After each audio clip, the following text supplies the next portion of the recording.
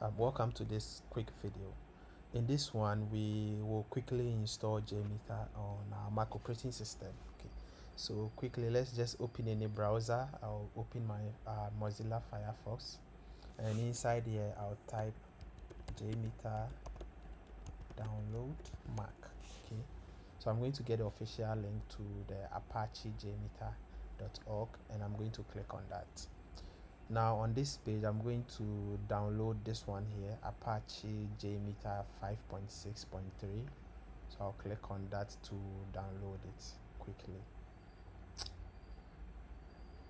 All right now it's done downloading. So i'll locate that in my downloads folder here.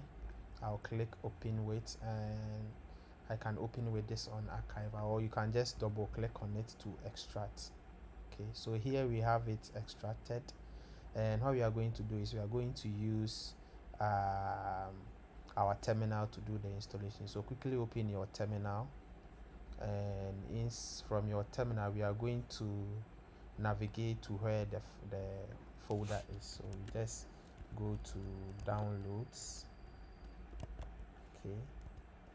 Inside downloads we go to the apache dash jmeter and the version right?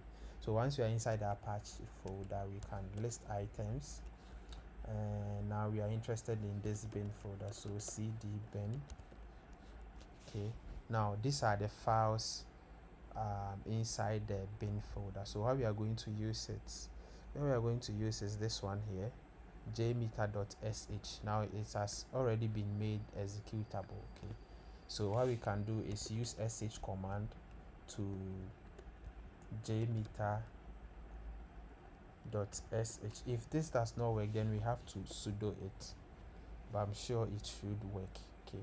So hit enter and um, there are some warnings here. Let's wait for installation and here we are with apache jmeter okay?